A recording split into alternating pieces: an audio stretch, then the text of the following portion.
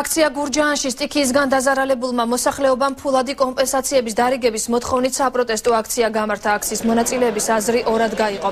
ნაწილმა მიმდინარე პროცესი ახალი მთავრობის წინააღმდეგ საბოტაჟად შეაფასა. აქციაზე მივიდნენ გურჯაანის მუნიციპალიტეტის გამგეობის წარმომადგენლები, მათი განცხადებით დაზარალებული მოსახლეობის სასოფლო სამეურნეო სავარგულების აღრიცხვა უკვე დასრულებულია და ფულადი კომპენსაციების გაცემა რაიონში უახლოეს პერიოდში დაიწყება. უნდა ყოფილიყო ვითომ ახალ წლამდე, მერე ძველ ახალ წლამდე, მერე შობამდე, მერე ძველ ახალ წლამდე, ეხლა ვითომ 14-დან უნდა ყოფილიყო და გაუბედურებულია ხალხი. ფშიერი დადის. ფშიერი დადის ხალხი. ადამიანებმა რომლებიც ესწრებიან ამ აქციას და ჩვენი პასუხი მოისმინეს, გაიგეს ყველაფერი და ხედავთ რომ ძალიან მშვიდად და წყნარად არიან.